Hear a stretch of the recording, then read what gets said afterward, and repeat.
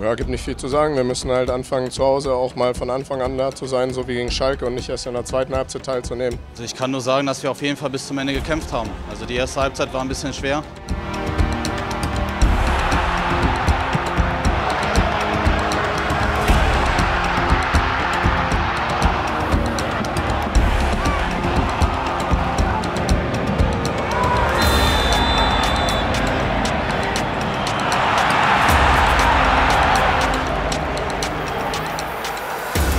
Ja, natürlich war es schwierig, denn äh, Holstein Kiel ist auch eine sehr gute Mannschaft, sonst würden die nicht oben stehen.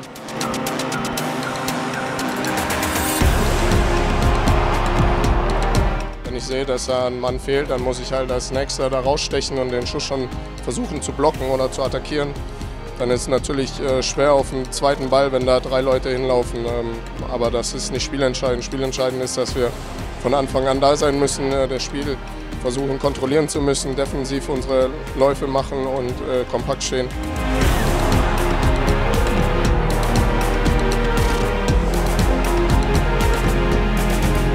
Wir waren heute äh, von Anfang an die etwas äh, passivere Mannschaft, schlechtere Mannschaft ähm, und dementsprechend brauchen wir uns nicht beklagen, dass wir hier wieder mit leeren Händen stehen.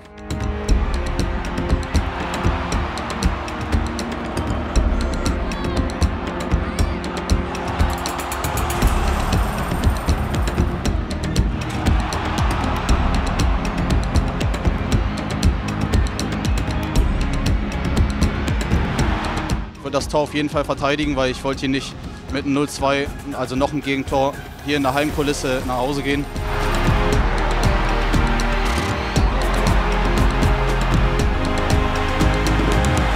Wir haben da einen Sieg geholt und jetzt wollen wir auch das nächste Spiel da gewinnen.